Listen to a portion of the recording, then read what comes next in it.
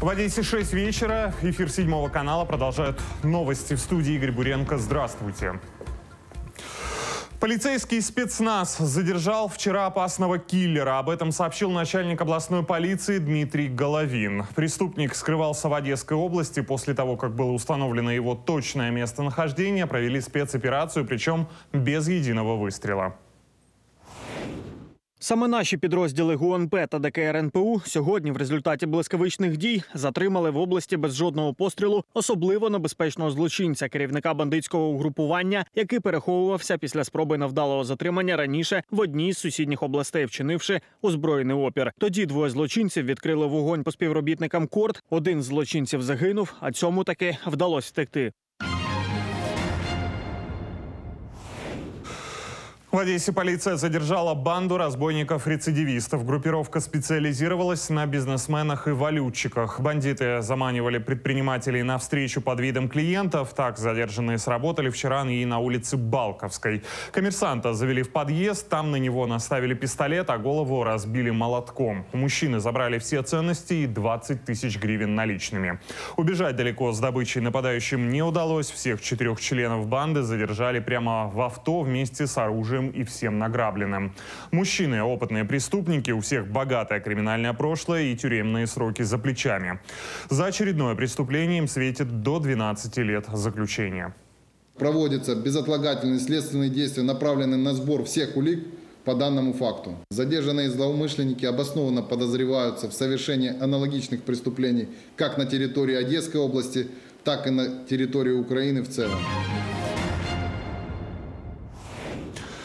Этой ночью во дворе дома на улице генерала Петрова 44 рухнул тополь. Дерево упало на два припаркованных автомобиля и потянуло за собой электропровода. Ночью вот это громыхнуло, упало дерево вот и все на машину. Три часа ночи, как раз три часа ночи. 15 минут четвертого уже началось движение, вот это вот видели, все вышли. в полном шоке. Ну, я увидела, машина не подлежит, как вы видите, никакому ни восстановлению, ничему, это печально. Денег нет. Машина была и так подарена родителями, я не работающий человек. У меня маленький ребенок, живу вдвоем с ребенком. Как это все восстанавливать и что теперь делать? Ну, как бы, я не знаю. Столбы ЛЭП упали посреди двора и перекрыли пешеходные дорожки. Из-за повреждений на территории временно не будет электричества. Ствол упавшего дерева коммунальщики уже распилили и убрали. Ну а я отмечу, что местные жители неоднократно обращались в ЖСК с просьбой спилить старый тополь. Зимой еще у нас тут две или три ветки э, упали. Ну, соответственно, и дворникам говорили, обращались. И я звонила, жаловалась, что ребенок ходит в школу и предупреждала, чтобы смотри аккуратно, не ходи под этим деревом. А знаете, как дети? Ну, никто на это не обращал внимания. Лидируем с конца. Ежегодно в Одесской области регистрируют более двух тысяч случаев заражения ВИЧ-инфекцией. Такое же количество человек заболевает и туберкулезом. Чтобы изменить печальную статистику, в Одесском регионе изменят систему оказания помощи. Так больным туберкулезом и ВИЧ-инфицированными займутся семейные врачи. Далее расскажет наш корреспондент Екатерина Лапицкая. Лечить по-новому. Теперь пациенты с ВИЧ и туберкулезом даже из самых отдаленных районов области смогут быстро и эффективно получать помощь у семейного врача, а не ехать в специализированные центры, как это было раньше. Ми хочемо інтегрувати цю допомогу не лише зациклити на інфекціоністах, але навчити лікарів первинної допомоги, які е, ближче би фізично знаходилися до всіх пацієнтів в регіонах, навчити їх теж працювати з цими пацієнтами, комунікувати, а, скеровувати їх там на лікування, на тестування. В Минздраве хотят решить проблему неприятия обществом ВИЧ-инфицированных людей, а еще изменить отношение как больных, так и врачей к этому диагнозу. Для этого даже организовали научную сессию для медиков со всего региона. Мероприятие действительно очень важное. Оно формирует коммуникацию ну, или коллаборацию, да, то есть объединение усилий э, врачей всех специальностей, прежде всего первичной медицинской помощи и специалистов, которые э, занимаются непосредственными проблемами ВИЧ-инфицированных, для того, чтобы у нас была преемственность между врачами, единое понимание, как работать с людьми, которые имеют эту проблему. Сейчас провериться на ВИЧ можно совершенно бесплатно. Закупку экспресс-тестирования помимо зарубежных фондов обеспечивают и местные бюджеты. Наше самое большое достижение, которое позволит нам э, в ближайшие пять лет переломить ход эпидемии ВИЧ-инфекции. Мы за этот короткий промежуток времени набрали на антиретровирусную терапию свыше 11 тысяч человек, проживающих в Одесской области э, больных ВИЧ-инфекцией. Теперь намереваются за год обеспечить проведение терапии почти для 8 тысяч человек. Львиную долю поставок антиретровирусных препаратов взяли на себя зарубежные компании. Одна из них уже заканчивает пятилетнюю программу помощи Украине. И Задача проекта была помочь украинским партнерам э, взять эпидемию ВИЧ-инфекции под контроль. Э, речь идет о том, что э, сегодня ве- весь мир, э, и Украина в том числе, взяли на себя политическое обязательство остановить эпидемию. Общий объем финансирования проекта 22 миллиона. Это 5 лет работы, это 8 областей Украины. Отмечу, по словам руководителя проекта, американское правительство продолжит помогать Украине. В скором времени заработают новые программы, которые поддержат медицинскую реформу. Екатерина Лапицкая, Андрей Дьяченко, Седьмой канал. Скандал между Национальным природным парком Тузловские лиманы и окружающими его сельсоветами. Жители Громады и экологи не могут прийти к компромиссу по поводу зонирования территории. Какие места будут заповедными, а какие можно будет использовать в хозяйственной деятельности. На совещании в Одесской обладминистрации проблему пока решить не удалось. Далее подробнее. План зонирования территории Национального природного парка Тузловские лиманы стал причиной конфликта между дирекцией нацпарка и многими сельсоветами Татарбунарского района. Местные жители против ограничений, которые накладывает статус заповедной зоны. Ну ніяк не може встраювати е, мешканців Жовтоярської сільської ради в зв'язку з тим, що озеро Алібей повністю стає заповідною зоною, а озеро Карачаус та глибока частина, де можна покупатися, тому що залишаються одні низини, там, де ну, води буде е, По, щок, по щоколотки не більше, і люди не зможуть теж не покупатися. І в тому числі і рибачать. Селилися люди для того, щоб рибачити. Ми не ведемо мову за те, щоб браконьєрничали, Боже збав, не за це. Ми ведемо мову за те, щоб вони могли рибачити і мали можливість офіційно. В свою очередь экологи заверяют, они и так пошли навстречу жителям окружающих нацпарк населенных пунктов. Нормативам украинским зонирование таких экосистем, как лиманные экосистемы нашей территории, должны иметь 75% заповедной зоны. Остальная хозяйственная зона регулируемой рекреации. Здесь же мы сделали, ну, сделали 44 вначале, а потом в процессе переговоров отступили до местных, сделали 37. Им тоже мало. Они хотят 7, как вот говорит бывший директор. 7, чтобы там в каком-то месте, которое их вообще не интересует, они э, шастали везде, а держава и международные организации просто страдали от того, что биоразнообразие будет уничтожаться. На совещании дошло до скандалов. Стороны обвиняли друг друга в коррупции и непрофессионализме. Є дві сторони: є громада, є національний парк. Зараз ми працюємо з громадою окремо, з національним парком окремо, і ми повинні дійти до якогось кінцевого результату. І ми до нього дійдемо. Питання зонування воно стоїть з 10-го року. По сьогоднішній день не вирішено. Такого бути не може.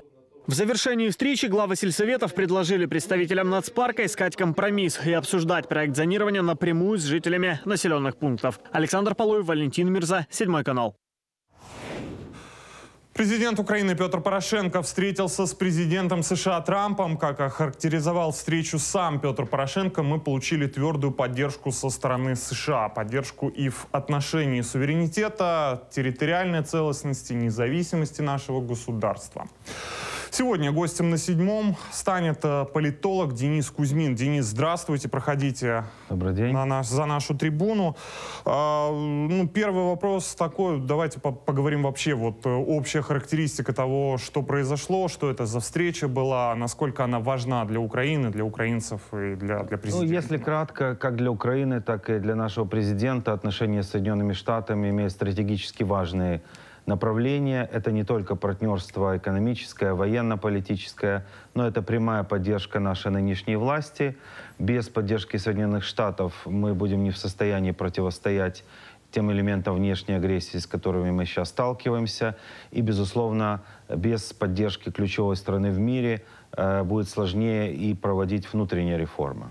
Э, Раньше была, давайте вот простым языком э, для, для, для наших зрителей, раньше была такая же поддержка или не было? Что у нас конкретно изменится? Крым станет обратно нашим? Э, Донбасс обратно придет к нам э, в, в, в наши границы? То есть- Если кратко, Соединенные Штаты непосредственно этим заниматься не станут, то есть они не будут за нас ни воевать, ни полностью финансировать, но оказание поддержки, прежде- всего давлением на Российскую Федерацию, экономическими санкциями, можно будет заставить и- иначе себя вести Россию в первую очередь на Донбассе. Крым это немножко отдельная история.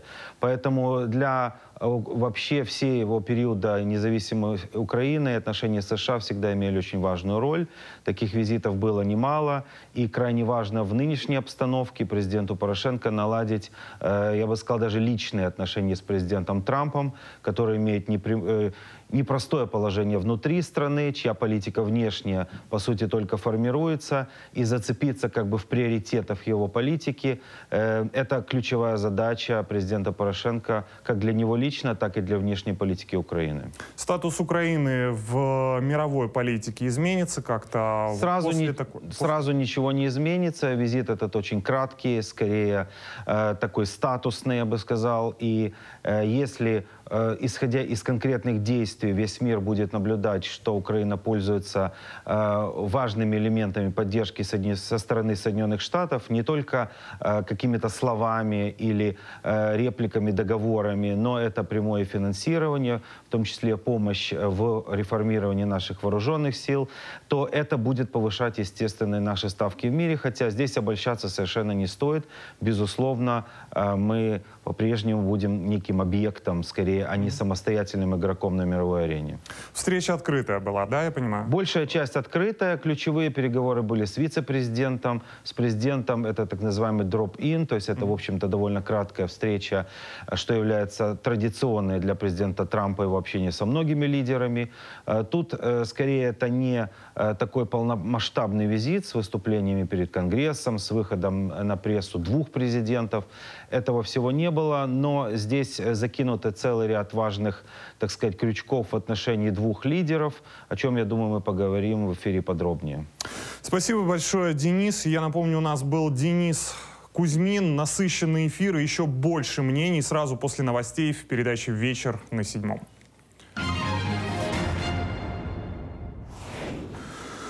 Мусор, спасающий жизни. Одесские волонтеры собирают хлам, сортируют его и сдают на переработку. На полученные средства покупают одесским военнослужащим медикаменты. За несколько лет такой помощи собрали более 50 тысяч гривен.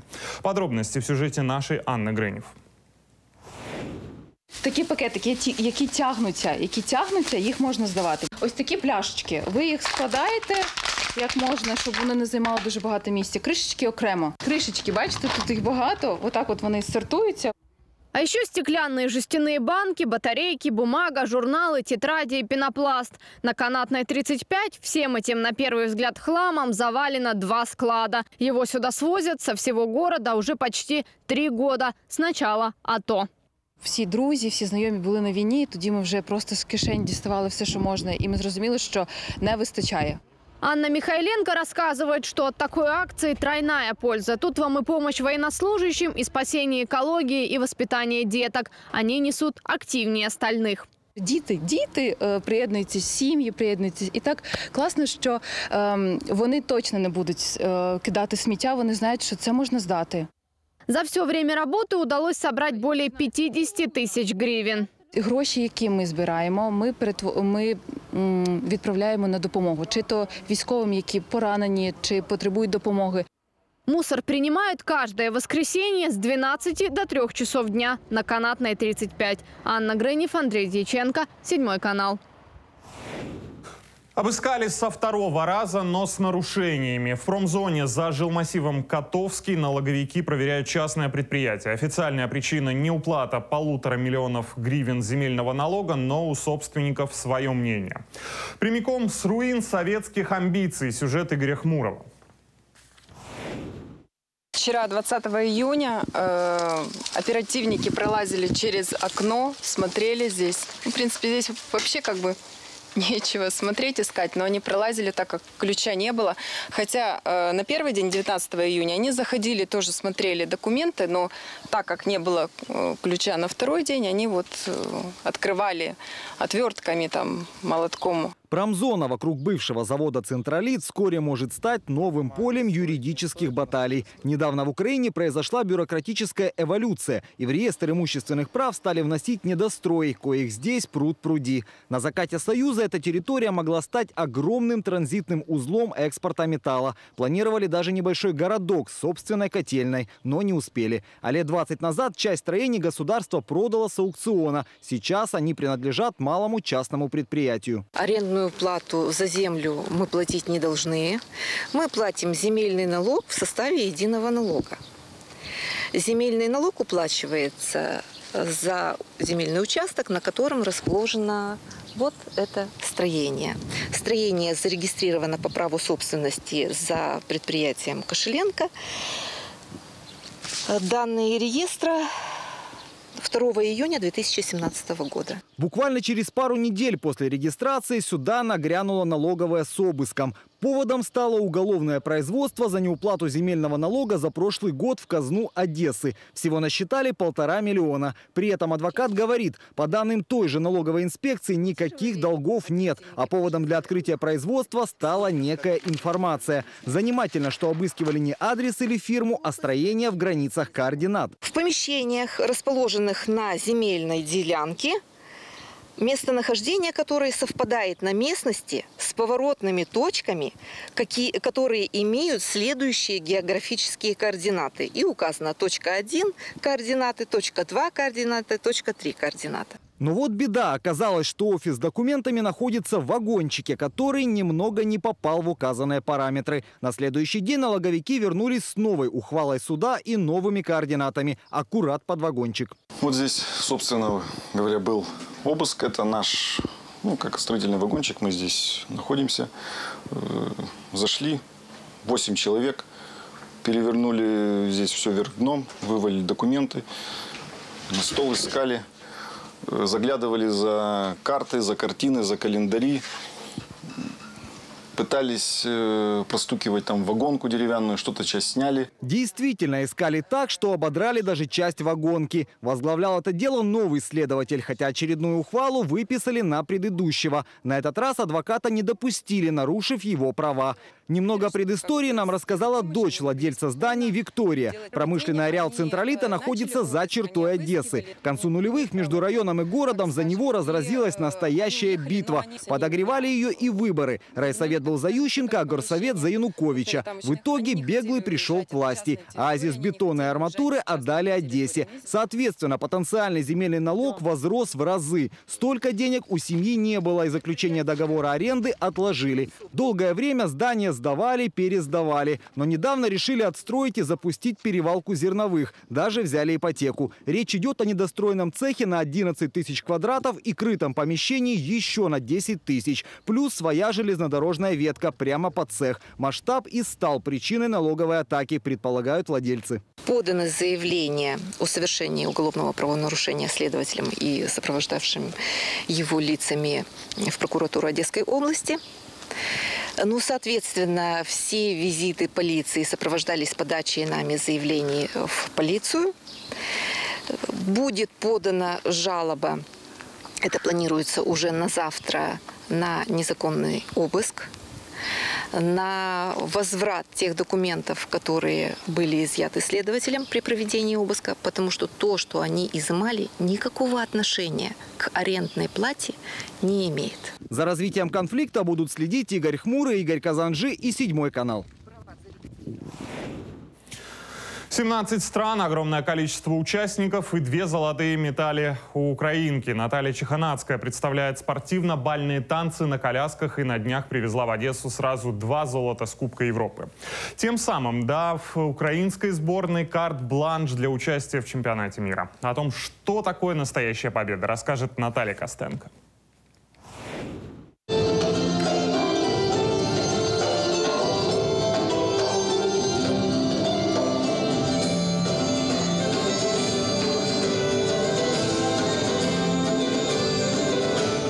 Этот танец сделал Наташу обладательницей одной из трех завоеванных ею медалей Всемирного Кубка Европы по спортивно-бальным танцам на колясках. Несколько дней назад во Франкфурте она взяла два золота и серебро в соревнованиях, в которых участвовали спортсмены из 17 стран. Но для украинцев такие победы – это не просто спортивный результат. Вы знаете, я даже не могу передать, сколько трудностей было перед тем, как я попала на этот турнир. Мне выбраться на тренировку было очень сложно. Спуститься со второго этажа с лестницы – это уже большая проблема, сидя в четырех стенах. Поэтому каждая поездка на тренировку даже для меня возникала большая трудность. Но я все равно шла вперед э, к осуществлению своей цели. Украинцы привезли домой две золотых, две серебряных и одну бронзовую медали. Наша сборная – это 12 спортсменов из Ровно, Хмельницкого, Киева и Одессы. Раньше Наташа представляла этот вид спорта в Донецке, но с началом войны пришлось перебраться в Одессу. Дело в том, что я начала заниматься танцами еще в Донецке. Тогда был у нас целый танцевальный коллектив.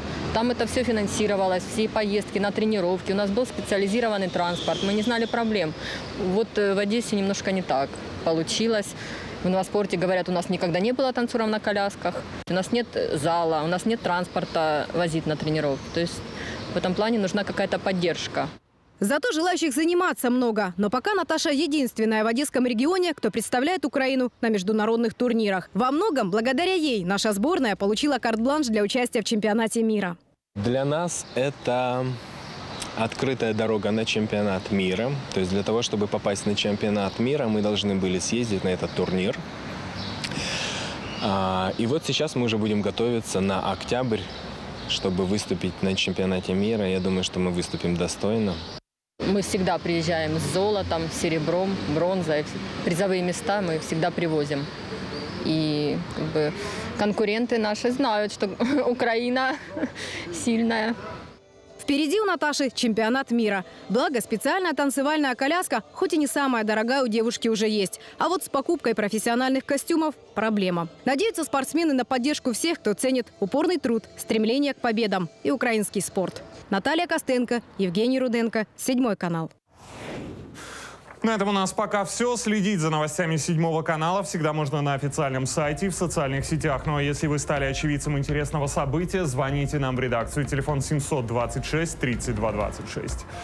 Итоги дня, как всегда, подведем в 20.00. Ну а сразу же после выпуска новостей смотрите «Вечер на седьмом». Мой коллега Сергей Брачук обсудит с гостями студии визит президента Порошенко к президенту США.